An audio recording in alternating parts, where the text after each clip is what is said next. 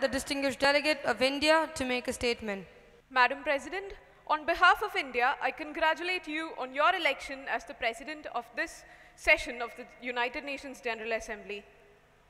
Madam President, the situation in the Middle East region continues to be fragile and unpredictable with several protracted conflicts and unprecedented changes in several countries. The longest of them, the Middle East peace process, also continues to elude peace. Therefore, we join others in urging the UN to take the lead in resolving this conflict. Madam President, our position on the Middle East peace process has remained consistent and clear.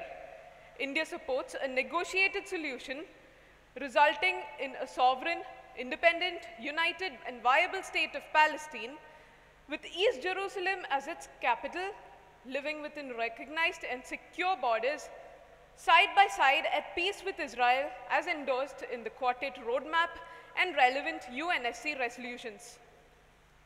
Our support for the Palestinian people has crystallized into a policy with three core dimensions, namely solidarity with the Palestinian cause, support for the Palestinian people, and support for Palestine's nation building efforts.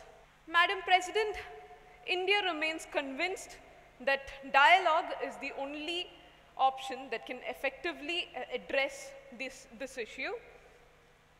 We remain hopeful that, and we urge both the sides to resume its peace processes soon for a comprehensive, just, and lasting resolution of the problem.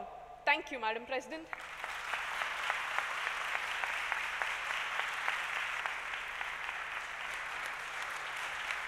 I thank the distinguished delegate of India